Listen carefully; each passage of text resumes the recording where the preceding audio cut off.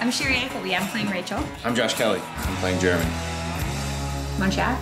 Yeah. Let's chat. Unreal is a behind the scenes look at the making of a dating reality competition show. And it's sort of lifting the curtain behind how reality shows are produced.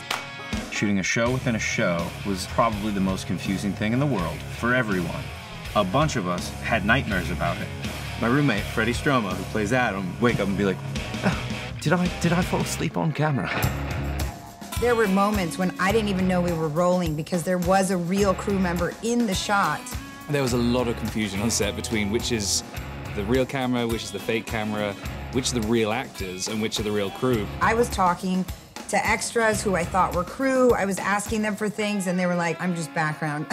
I was like, oh, I'm so sorry.